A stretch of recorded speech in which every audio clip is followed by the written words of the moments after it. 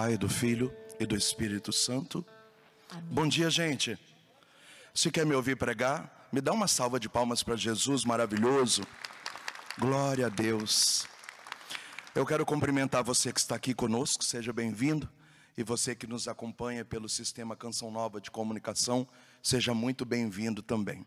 Meu nome é Moisés Rocha, eu venho de Minas Gerais. Eu moro numa cidade chamada Sete Lagoas, a uma hora de Belo Horizonte. Esse ano eu completo 25 anos que eu sou pregador. Eu já rodei um pedação do mundo pregando o Evangelho. Também sou autor de cinco livros e sou fundador da comunidade Filhos de João Batista. Em janeiro faremos 20 anos de comunidade de vida. Nós temos algumas casas na cidade, temos também uma fazenda que, dentre tantas coisas, trabalha com dependentes químicos do sexo masculino. Homens moram conosco por nove meses para se recuperar do álcool e da droga. É uma alegria muito grande estar aqui. Eu vou pregar agora de manhã, vou pregar à tarde, estarei junto com o Padre Roger também nas orações e será um dia inteiro voltado para Nossa Senhora. Abra sua Bíblia, você que trouxe, você que está em casa. Livro do Apocalipse, capítulo 11, versículo 19. Livro do Apocalipse, capítulo 11, versículo 19. Está escrito assim: Abriu-se no céu o templo de Deus, e apareceu no templo a arca da aliança. Houve relâmpagos, estampidos, trovões, um terremoto, forte chuva de pedras. Palavra do Senhor. Vamos aplaudir a palavra do Senhor mais uma vez? Glória a Deus. O mundo foi agraciado por Deus com as mensagens de Nossa Senhora de Fátima. Nossa Senhora apareceu para os três pastorinhos, Lúcia, Jacinta e Francisco, só lembrando que Jacinta e Francisco já foram em 2017 canonizados pelo Papa Francisco. E durante vários tempos, as mensagens foram dadas a esses três.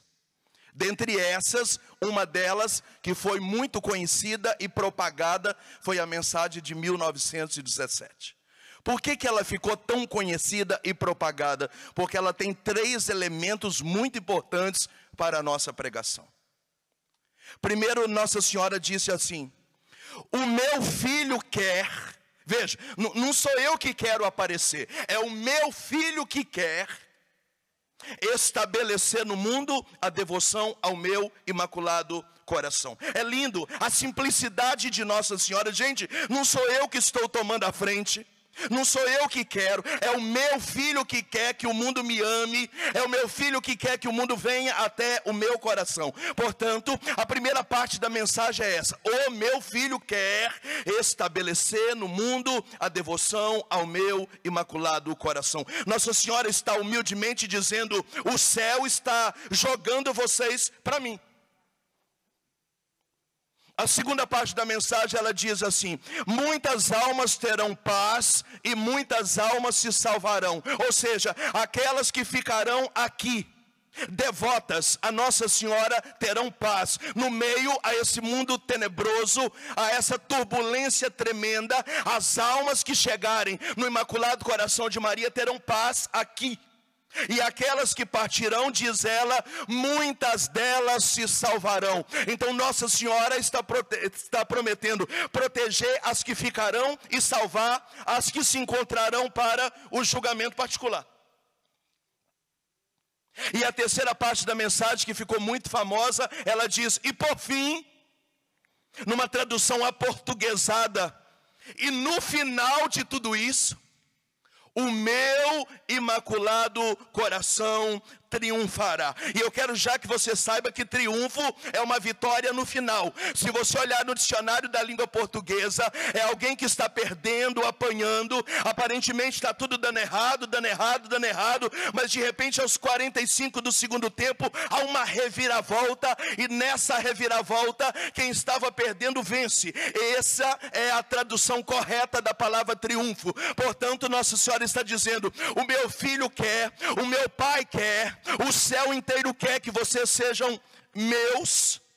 Eu vou dar paz a vocês na terra e salvarão aqueles na hora da partida e no final. Parece que estávamos perdendo, parece que estávamos apanhando, parece que tudo ia dar errado, mas no final de tudo isso, o meu imaculado coração vai triunfar e vocês vão vencer. Pode aplaudir, pode aplaudir, vocês vão vencer, vocês vão vencer.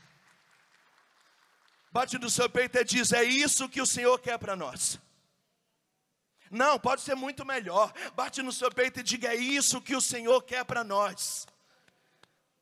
Aleluia. Deixa eu explicar. Nós vamos encontrar na Bíblia três tipos de reinos. O primeiro reino é um reino que já foi. Com a encarnação de Jesus, o reino de Deus chegou na terra. Jesus teve três anos de vida pública e o tempo inteiro fez questão de dizer: Eu vim para implantar o reino de Deus na terra. Portanto, a chegada de Jesus faz parte de um projeto, de um reino que já chegou. Mas existe um segundo reino que é um reino que ainda virá. Quando esse reino virá, Jesus que veio com misericórdia, agora voltará como justo juiz. Ele que veio como cordeiro, virá bradando e rugindo como um leão. E ele vem para separar as ovelhas dos cabritos, o joio do trigo. A doutrina católica diz que isso faz parte de um reino que virá no juízo final. Portanto, nós temos um reino que já veio e um reino que virá. Por isso a teologia diz: é um que já e um que ainda não. Já e ainda não. Só tem um detalhe: o que já aconteceu e o que ainda não, não aconteceu. Nós estamos vivendo num período intermediário entre o que já e o que não. Então aparecerá na Bíblia um terceiro reino, que é esse reino intermediário, que fará a passagem entre o que já aconteceu e aquele que ainda está para acontecer. Nós estamos vivendo agora esse terceiro reino, que eu estou chamando de reino intermediário. Quem me ouve, diga amém. Aleluia. Só tem um pequeno detalhe: o reino que já, quem implantou foi Jesus. O reino que ainda não, quem vai implantar é Jesus. E o reino intermediário, quem tem que implantar somos nós. Antes de Jesus subir para o céu, isso é Mateus capítulo 18, ele diz: Todos os poderes me foram dados e eu dou a vocês. E de anunciar o reino de Deus. Sai por aí, vai, vai, vai. Vai, é o famoso envio missionário. Jesus falou: agora vocês vão implantando até que eu vá para o Pai, prepare uma morada e volte. Então, entre o reino que já e o que ainda não, vocês precisam trabalhar nesse terceiro reino intermediário e vão implantando, implantando. E Jesus disse: além de implantar o reino de Deus, eu quero que esse reino de Deus seja regado com sinais. Por isso, eu dou a vocês o poder de expulsar os demônios, curar os cativos, libertar os enfermos, proclamar o ano da graça graça. Então, nesse momento, nós estamos no terceiro reino, que é o reino intermediário entre o que já e o que ainda não, e esse não é função de Jesus, é função nossa. Mas aí nós vamos esbarrar num pequeno problema. Você pode abrir a sua boca e me perguntar: que problema, Moisés? Não, não, achei horrível, achei horrível. Abre a sua boca com carinho e diga: que problema, Moisés? É que nós somos falhos. Todo dia você vê líder que caminhava e não caminha mais, que dá passos e não dá mais. Nós somos miseráveis. Então Jesus que já e ainda não é Deus, nós não. Nós somos limitados e por ser limitado, esse terceiro reino anda muito moroso nos nossos dias. E a oração sacerdotal de Jesus, ele diz: Pai, enviai operários para a vossa messe, porque a messe é grande e os operários são poucos. Além de poucos, estão doentes, outros estão cansados, outros estão voltando atrás, outros estão se apostatando, outros estão frios. Então, se nos cabe nesse momento implantar o terceiro reino intermediário ao que já e ao que não, nós temos falhado porque nós somos limitados. Para completar o problema, essa nossa geração que precisa conhecer esse reino é uma geração mais pervertida do que a geração de Jesus. Ó, oh, se nos tempos de Jesus ele já chamava aquela geração de a geração dos tempos de Noé, onde todo mundo fazia o que queria, tanto é que aconteceu o dilúvio e o Senhor só salvou a família de Noé. Se naquele tempo o Senhor já comparava aquela geração a Sodoma e Gomorra, onde não havia nenhum justo e o Senhor teve que destruir a cidade inteira, imagina a nossa geração. Para você ter uma noção do que, que eu estou falando, eu vou ler para você, olha aqui. Segunda carta de São Paulo a Timóteo, capítulo 3, diz assim: Vocês devem saber que nos últimos tempos apresentarão situações difíceis. Olha como será essa geração.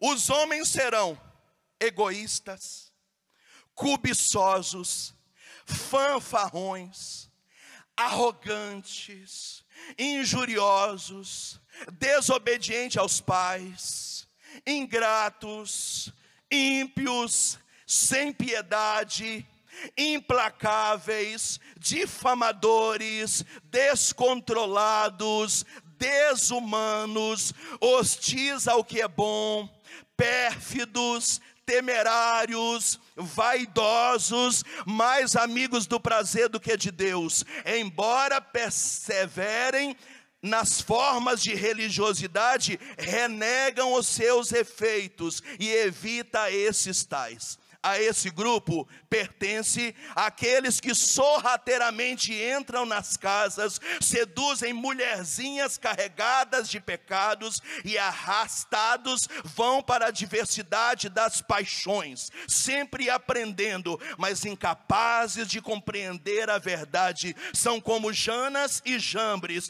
que confrontaram Moisés, enfrentam a verdade. A mentalidade dessa geração é corrompida. Eles provam a fé, mas não irão muito longe, como no caso dos rivais de Moisés, porque a insensatez tomará conta em evidência dessas pessoas. Então nós estamos com dois problemas.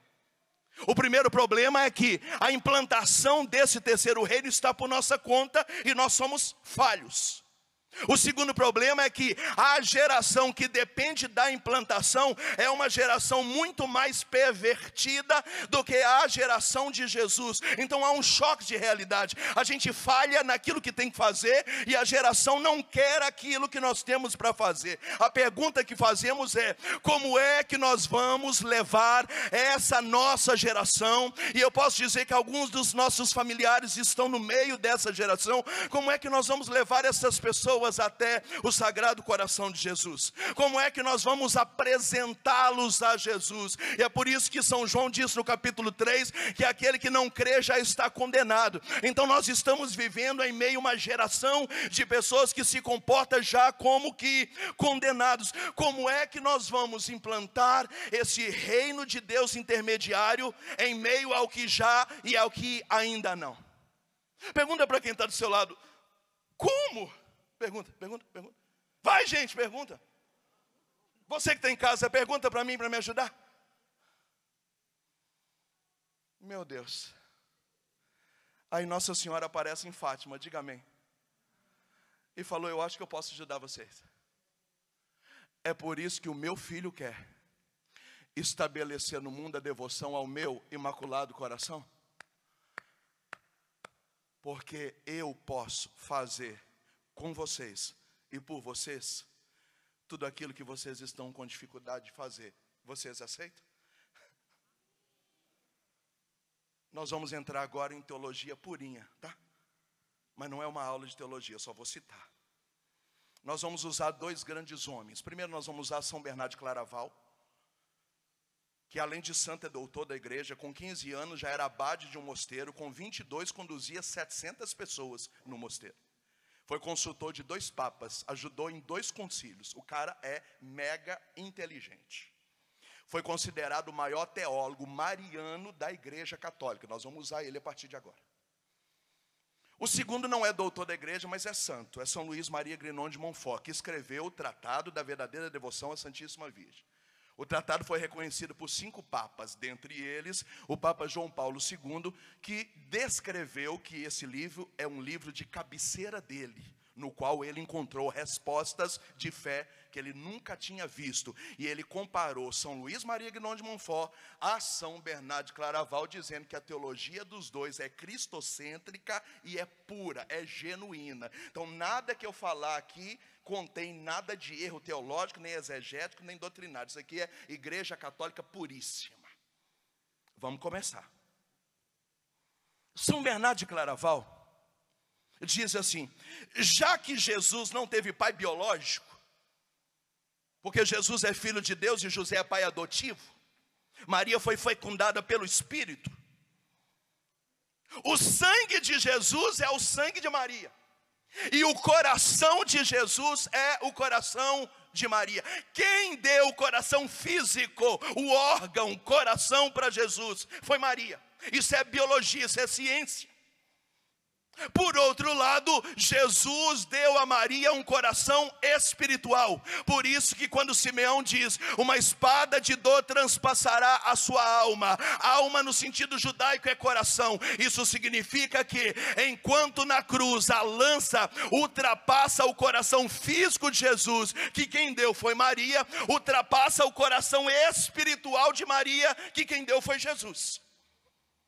Por isso, ele diz, e depois Santo Agostinho vai dizer também, que a carne de Jesus é a carne de Maria, portanto, não é possível separar os dois corações, não é possível, não é possível você separar o coração de Jesus do coração de Maria. Por isso, São Luís Maria Grignon de Montfort diz que é mais fácil você separar a luz do sol, é mais fácil você separar o calor do fogo, é mais fácil você separar os santos do convívio dos eleitos do que arrancar o coração de Jesus do coração de Maria. Depois Jesus aparece para Santa Gertrudes, depois aparece para Santa Brígida, depois aparece para São João Eudes e diz: "O coração meu e da minha mãe são um só coração". Pode aplaudir. Pode aplaudir, são um só coração. Pode aplaudir. Então você já começou a entender por que, que Nossa Senhora se apresentou como socorro e auxílio para cada um de nós agora. Porque se essa geração que eu li aqui, que é a segunda carta de Timóteo, capítulo 3, se essa geração aqui não consegue chegar no coração de Jesus, Maria já tem um só coração com o coração dele. Então, se a gente chegar pelo menos no dela, já está dentro do dele, porque os dois corações são um. Gente, que maravilha. Ai, que alegria. Bate no seu peito e fala: Eu sou feliz demais por ser católico. Bate no seu peito aí, bate, bate, bate, bate, bate, bate. Gente, bate, gente. Bate e fala: Eu sou feliz demais por ser católico. Bate, bate, bate, bate, bate. Então, São Luís e São Bernardo de Claraval, apoiado por Santa Brígida, Santa Gertrudes, São João Eudes, Santa Margarida Maria Lacoque, da devoção dos Sagrados Corações, deram para a igreja de presente: ó, se vocês têm tantos pecados, tantas misérias que vocês não conseguem chegar no coração de Jesus, eu tenho uma dica para vocês: se vocês chegarem no Imaculado Coração de Maria, vocês já estão dentro do coração de Jesus, porque o coração dos dois são um só e são inseparáveis. Agora nós estamos entendendo. Se entre o que já e o que ainda não, nós precisamos construir um reino. E esse reino tem deficiência porque os construtores são deficientes. E quem deseja ser construído não deseja porque é perverso. Nossa Senhora está dizendo: Eu posso ajudar vocês, porque como mãe, eu acho que é mais fácil eu colocar essa geração dentro do meu coração do que ela chegar no coração do meu filho. Como os dois corações já estão juntos, vem para o meu e eu ponho no dele. Ai, que alegria. Pergunta para quem está do seu lado: você está entendendo ou você não está entendendo? Está entendendo? Abra a boca, gente. Está entendendo ou não está entendendo? Oh, meu Deus do céu. Então, Nossa Senhora está dizendo em Fátima: o meu filho quer estabelecer no mundo a devoção ao meu imaculado coração. Por que, que meu filho quer? Quem entrar no meu coração vai entrar no dele. Quem tiver no meu coração vai estar no dele. Então eu acho que eu posso ajudar vocês. Vamos pegar a humanidade inteira e pôr aqui dentro? Porque se chegar aqui dentro, vai chegar ali dentro. Isso significa que o reino que nós precisamos implantar agora, que é o reino intermediário, está sendo chamado pela teologia da igreja de o reino de Maria. Você pode repetir isso comigo? O reino de Maria. Metade falou, o resto não. Eu não sei se você está vivo, se está dormindo. Diga comigo o reino de Maria. Fala para quem está do seu lado o reino de Maria. Olha o que diz São Luís, ó. Tratado da verdadeira devoção, no capítulo 50. Diz assim, ó. O reino de Maria deverá brilhar ainda mais nesses tempos para exercer misericórdia. Olha ele dizendo: que entre o que já e o que ainda não, um reino de Maria deverá se levantar. Por que um reino de Maria? Para ela ter misericórdia. Misericórdia com quem? Conosco, que somos os promotores do reino, somos falhos, e com aqueles que devem receber o reino, que são muito perversos e estão cada vez piores. Então, quando Nossa Senhora aparece em Fátima dizendo: Meu filho quer que a humanidade seja minha, o meu filho quer dar vocês para mim, Nossa Senhora está dizendo que esse reino que precisa acontecer entre o que já e ainda não é o meu reino. O reino de Maria precisa ser implantado sobre a terra. O detalhe é esse: se nós voltarmos ao livro do Gênesis, capítulo 3, versículo 15, há uma luta entre a mulher e a serpente, a descendência da mulher e a descendência da serpente. Portanto, não é uma luta pessoal entre a mulher e Satanás, é uma luta também entre a descendência da mulher e a descendência de Satanás. Portanto, a vitória de Maria é a vitória de Jesus, a vitória do Imaculado Coração dela é a vitória do Sagrado Coração dele, porque nada é dela. Quem entrar no coração de Maria está no coração dele, quem entrar no coração dela entrou no coração dele, quem aceitar o reino dela aceitou o reino de Deus. Pode aplaudir, isso é de Deus, pode aplaudir. Uh! Viva Nossa Senhora! Continua São Luís. Meu Deus, olha. Uh, olha o que São Luís disse aqui, ó. Parágrafo 49. O Espírito Santo fará a sua esposa, Nossa Senhora, conhecida e amada porque já não subsiste mais as razões para ocultá-la. No reino que já, para Nossa Senhora não roubar a cena, ela foi extremamente discreta. Por isso, São Luís, teólogo de classe, diz que quem escondeu ela foi o seu esposo Espírito Santo. Só que agora está dizendo que não há mais razão para escondê-la.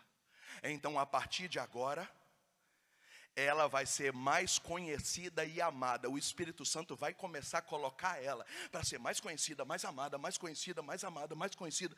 Por quê? Porque é através desse reino de Maria que vai preparar para o reino que ainda não chegou. E você está entendendo o que eu estou falando? Nos nossos dias nunca se amou, se falou de Nossa Senhora como em dois mil anos de igreja. Nunca se compôs tanta música, tanto livro, tanto evento, tantas pastorais, tantos movimentos, tantas missões, tantas comunidades. Nunca se teve tanta camiseta, nunca se teve tanto CD, nunca se teve tanto canal, nunca se teve tanto. Se Nossa Senhora parece que está em evidência nesses tempos. Mas São Luís disse isso. O Espírito Santo já não tem mais motivo para ocultá-la. Por isso ele fará nesses tempos, no reino dela, nesse momento, nesse reino intermediário, ela ficará mais conhecida e mais amada. Diga para quem está do seu lado, conhecida e amada. Fala para quem está do outro lado, conhecida e amada. Fala para quem está atrás de você, conhecida e amada. Fala para quem está na sua frente, conhecida e amada.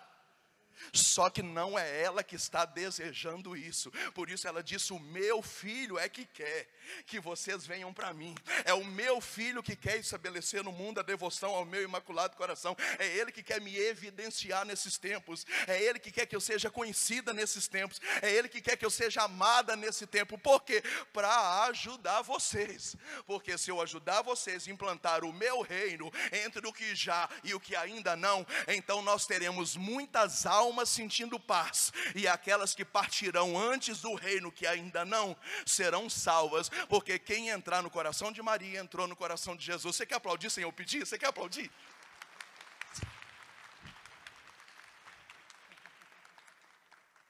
Quem está me entendendo? Diga aleluia. Meu Deus do céu, continua São Luís, eu estou ficando doido aqui. Olha o que São Luís disse, parágrafo 262 do tratado. Jesus veio na primeira vez no que já, por meio de Maria, e virá na segunda vez, no que ainda não, também por meio de Maria. Que está construindo essa vinda? São Luís diz que ela foi a porta oriental, a aurora que mostra que o sol está chegando. Ela foi essa porta para o que já ela também será porta para o que ainda não, por isso nós escolhemos Apocalipse 11. Houve um sinal no céu, a arca da aliança apareceu no céu, e se você continuar lendo, vai estar aparecendo a mulher vestida de sol à lua, debaixo de seus pés na coroa, umas doze espelhos, por aí fora.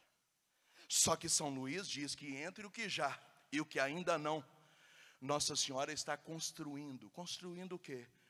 Um reino dela, que é o nosso reino. Por isso que Nossa Senhora em Fátima depois nos chamou de pequeno resto do triunfo do Imaculado Coração de Maria.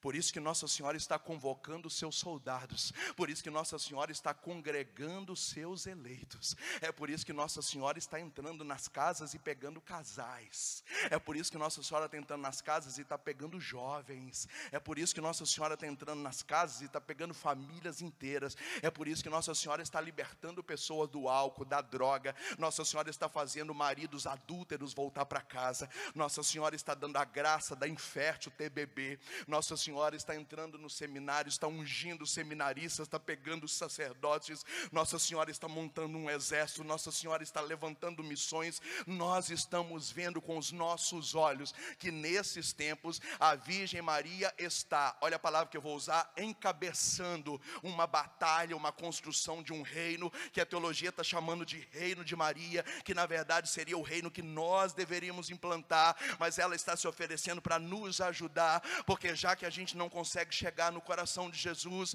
se nós chegarmos no coração dela, nós estaremos dentro do coração de Jesus. Por isso que ela é invocada como a porta oriental. É a porta no qual o céu entra, é na porta do qual o céu sai. Moisés, o que, que Nossa Senhora está pedindo para nós hoje? Uma total consagração da nossa vida a ela. Sim. É interessante que quando Nossa Senhora entra na vida de uma pessoa, ela não propõe outra coisa a não ser santidade. Se você pegar as mensagens de Garabandal, de Fátima, de Lourdes, de Medjugorje, La Salete, Guadalupe, é tudo igual. A essência é rezem o terço. A essência é rezem o rosário. A essência é fazer penitência. Ela não falou assim, fica aqui me amando e me beijando. Não, ela fala, convertei-vos.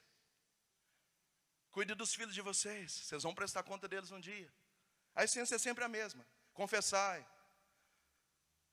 amai a Santa Missa, comungai, orai pelos sacerdotes, orai pelo Papa. A essência das mensagens é a mesma. A igreja chama isso de práticas interiores de oração. Toda pessoa que se aproximar do coração de Maria vai se aproximar de quê? Da santidade. Porque se você começar a rezar o texto, rezar o rosário, fazer jejum, penitência, quarentena de São Miguel, jejum de Daniel, mil Ave Maria, hora na madrugada, hora no monte, canta o ofício Nossa Senhora, vai à missa, confessa, comunga, o que, que isso vai dar? Santidade. Então o reino de Maria vai entrar na sua vida, vai entrar na sua casa, vai entrar no mundo, e então entre o que já e o que ainda não, nós teremos paz, e no dia da nossa morte nós seremos salvos. Eu mesmo aplaudo. Você não vai aplaudir mesmo? Muito bom, muito bom. Muito bom, muito bom. Muito bom. Muito bom. Pergunta para quem está do seu lado, você está entendendo ou não? Está entendendo ou não? Não? Olha, olha, olha o que São Luís está dizendo. Não tenham medo de amar Maria. Significa que tudo que eu estou falando aqui agora é cristocêntrico, não tem nada de idolatria nem exagero, nada, nada, nada. E ele diz assim: é como a experiência da lua e do sol. Eu vou explicar para você a experiência da lua e do sol. Aqui hoje não, que o dia está nublado. Mas na região que eu moro é quente. Então, às vezes, durante o dia, você fala, gente, que sol queimando, ou solzinho miserável. O mineiro fala assim. Aí você reclama, reclama, reclama, reclama, reclama, reclama. De noite aparece uma lua bonita. Aí você fala, nossa, que lua linda, gente. Pena que está em pandemia, deu até vontade de passear. Aí você criticou o sol o dia inteiro e elogiou a lua de noite. Biblicamente, quatro vezes Jesus é chamado de sol. E a Virgem Maria é a lua.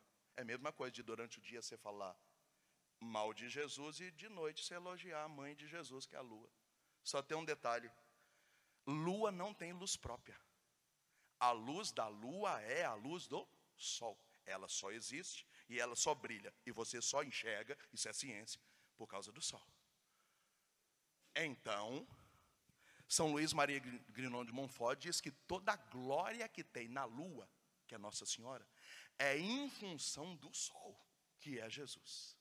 Então, quando você elogia a lua de noite, o sol que você criticou de dia não fica com ciúme, porque ele sabe que a luz da lua é dele. Então, quanto mais Maria é amada, mais Jesus é adorada. Quanto mais Maria é aplaudida, mais Jesus é aplaudido. Quanto mais mariano você é, mais adorador de Jesus você é, porque toda a glória que é prestada à lua volta para o sol, porque ela mesma se encarrega de dizer: fazei tudo o que ele vos disser. Pode aplaudir, pode aplaudir, pode aplaudir, pode aplaudir, pode aplaudir. Portanto, você não precisa ter medo de forma alguma de amar Nossa Senhora. Não precisa, não precisa, não precisa, não precisa. E ainda diz São Bernardo de Claraval, olha que legal. Quando os reis magos vieram no presépio adorar o menino, o texto diz: acharam o menino junto à sua mãe. Talvez se fosse hoje, estaria escrito no colo. Mas naquela época estava escrito junto a. Junto a é aqui, ó. Até porque é bebezinho, acabou de nascer, está aqui, ó. Olha, olha a percepção de São Bernardo de Claraval.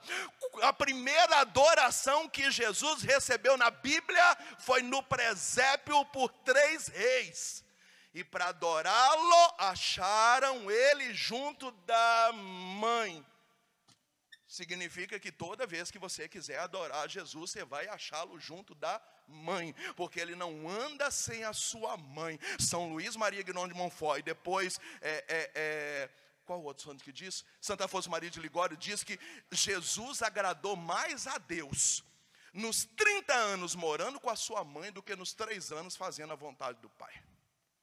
Então, toda vez que você achar Nossa Senhora, junto dela vai estar o menino. Os dois corações são inseparáveis, eles batem junto. Os dois corações são um só. Por isso, Nossa Senhora diz: Você é a carne da minha carne, você é o osso dos meus ossos. Os dois são inseparáveis.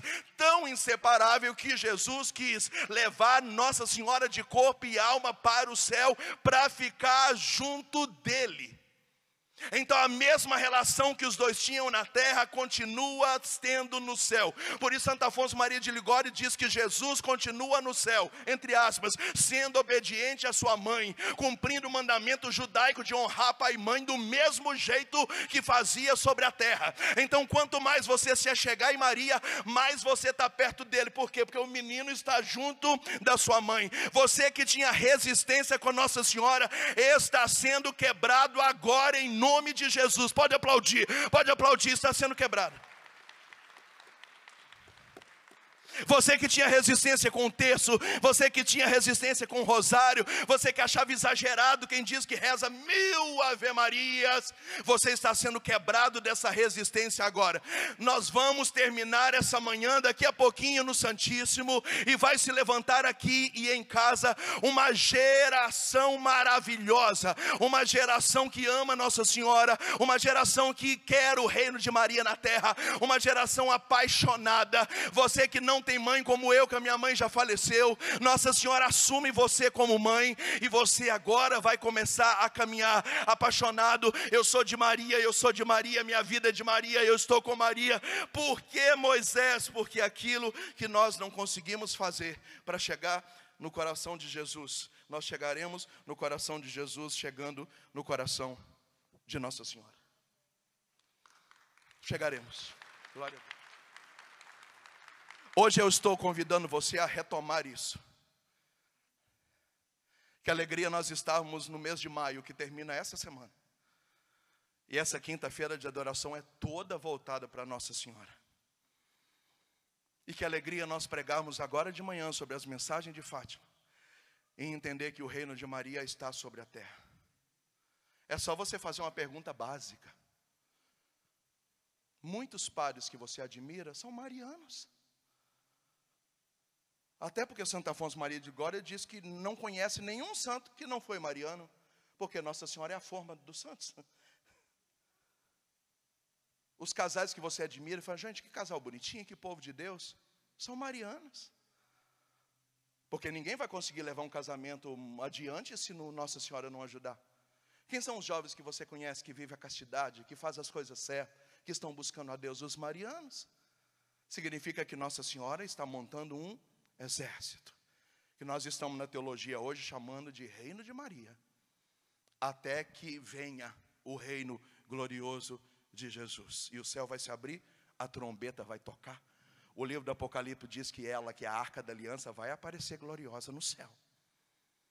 E hoje nós estamos sendo chamados a andar com ela. Se você estava afastado, volta. Se você tinha alguma barreira, volta. Se você foi envenenado por qualquer discurso torto, eu estou desentortando o discurso. E eu quero que você saia daqui apaixonado. Eu poderia ainda, para concluir nos minutos que eu tenho, dizer que Nossa Senhora está demarcando o seu povo. Se a gente estudar um pouquinho o livro do Apocalipse, nós vamos ver lá sobre a marca da besta, nós vamos ver sobre a marca que terão na mão, que terão na testa, não é assunto para agora, mas diz que os eleitos terão uma marca na fronte. Nossa Senhora está marcando o seu povo para o céu. Ela está dizendo: vocês terão paz aqui na terra, e vocês serão salvos. E a beleza é essa. O meu filho quer estabelecer no mundo a devoção ao meu imaculado coração. Gente, não sou eu que quero, eu não estou atrapalhando nada, é o meu filho que quer. Vocês reclamam com ele, ele está dando vocês para mim. Vocês aceitam?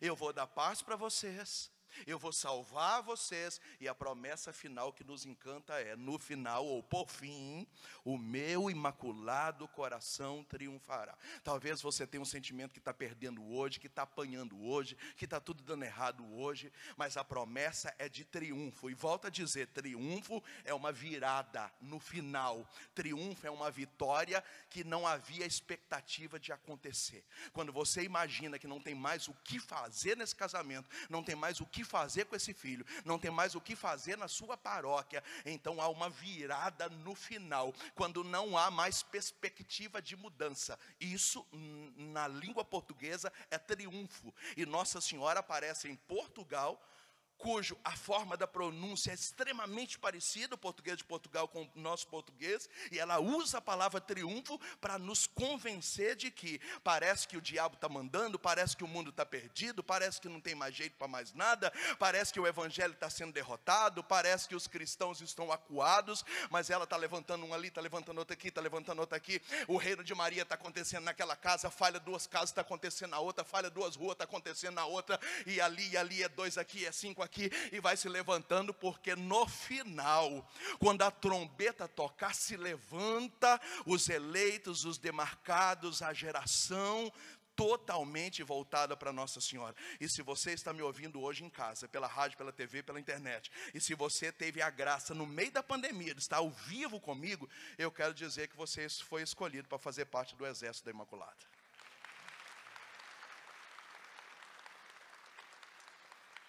E eu quero que você, a partir de hoje, não tenha medo de mais nada. Porque quem mexer com você, mexeu diretamente com Nossa Senhora. Porque quem quiser tocar na sua vida, mexeu na vida errada, porque mexeu na pupila dos olhos da Imaculada. Mexeu na pupila dos olhos da Imaculada. Se você tomar posse disso, você vai sair daqui hoje assim, arrebentando da boca do balão, como diz o mineiro. Eu quero que você saia daqui cheio de autoestima, sorriso nos lábios, brilho no olhar, pisando duro. Independente do que te espera na sua casa e o que está acontecendo na sua casa. Porque você é filha da Imaculada. Você faz parte do reino de Maria. Ela prometeu que vai nos dar paz no meio do circo pegando fogo. E ela prometeu que vai nos salvar e vai triunfar no final. Portanto, é uma batalha que já está escrito quem vai ganhar. E quem vai ganhar somos nós. Nós não somos condenados à derrota, nós já somos condenados à vitória. Já está marcado, está prescrito já está no livro da vida quem vai ganhar. Então saia daqui hoje sem chorar, sem reclamar, sem lamuriar, vamos para frente. E pega o seu texto, e pega o seu rosário, e vamos amar Nossa Senhora, vamos estudar mais, vamos ter paixão por ela, vamos recompor a nossa história, vamos para frente, vamos para cima, porque o reino de Maria está sobre nós. Eu só queria ler aqui alguns, alguns santos que nos ajudam a entender isso para a gente finalizar. Olha aqui. São Vitor. O nome de Maria cura todos os males e ele é mais eficaz do que qualquer tipo de unguento. Unguento é medicamento. O nome de Maria, não é ela, não, é só o nome. O nome dela cura qualquer mal, é mais eficaz do que unguento, do que curativo. Você está me entendendo ou não? Ninguém está me entendendo, nem respondendo. São Bernardo de Claraval. O nome de Maria abre o coração de Deus e coloca os seus favores à disposição de uma alma. Por isso ela é chamada de onipotência suplicante. Você está batendo, ô oh, pai, olha pelo meu filho, olha pelo meu filho, olha pelo meu filho, o coração do pai está fechado. Diz, eu não olho, não, ele é ingrato, ele é infiel. Mas está dizendo que quando você invoca o nome de Maria, o coração do pai se abre. E Deus dá favores a esse filho, porque quem pediu foi a mãe. Uau!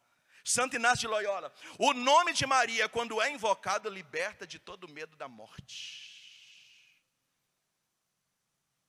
Na nossa casa, nós perdemos pessoas de Covid. E a gente lidou com a morte muito em paz. Porque nós somos muito marianos. E aqui diz que a presença de Maria liberta qualquer tipo de medo da morte. Além disso, liberta das aflições, dos perigos, das fraquezas e dos pecados. Santo Antônio de Pado. O nome de Maria é alívio ao coração, mel na boca e melodia aos ouvidos. Olha que legal. O nome, não é nem ela, não, é só o nome. O nome de Maria alivia o coração, é doce como mel na boca e é uma música gostosa nos ouvidos. Oh, aleluia. São Boaventura, bem-aventurado aquele que invoca o nome de Maria quem ama ela encontrará uma graça refrescante para a sua alma e frutos de bela justiça. Ah.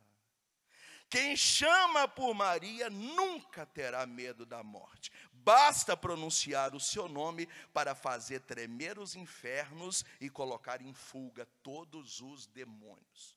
Quando o inferno escuta o nome da Imaculada, começa todo mundo correr dizendo: Vambora, vambora, vambora, a poderosa chegou, a poderosa chegou. Que delícia. São João Crisólogo. O nome de Maria é salvação para os renegados, derramamento de virtudes, castidade e honra, hospitalidade. É uma escola de santidade. Santo Afonso Maria de Ligório, o vosso amabilíssimo nome passa pela boca, abrasa o coração, traz doçura, gozo e paz. Na imitação de Cristo está escrito: os espíritos malignos tremem só de ouvir falar o nome dela, começam espantados, cheios de pavor. Corre, corre, a poderosa está chegando, a poderosa, a poderosa está chegando. São Luís Maria de Nônio Monfort, esse nome tem mais virtudes do que todos os santos reunidos. O nome de Maria conforta, cura, ilumina, abranda os corações endurecidos, fortifica os combatentes, traz ânimo aos casados e derruba todos os poderes dos demônios. É tudo isso que vai acontecer com você a partir de agora, em nome de Jesus. Pode ficar de pé e pode aplaudir. Pode ficar de pé. Não, mas aplaude de verdade. Pode. Viva Nossa Senhora! Viva Nossa Senhora! Nós vamos ministrar uma canção, Mariana, enquanto a gente reza um pouquinho e se prepara para a chegada do Santíssimo. Vamos juntos. Que o céu se faça presente no meio de nós. O coração de Maria triunfará. E que nós possamos clamar nesta manhã, neste cenáculo de amor. Que o céu se faça presente entre nós.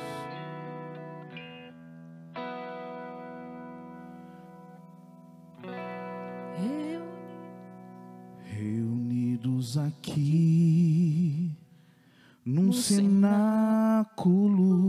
de amor, Feche os seus olhos. Pedimos forças pelas mãos de Maria. É o momento seu e dela. Feche os seus olhos. Ela conhece bem todos seus queridos filhos e não deixará faltar para nós seu auxílio. Do começo, mais uma vez, reunidos aqui. Reunidos aqui num cenáculo de amor, Pedimos forças pela mão de Maria.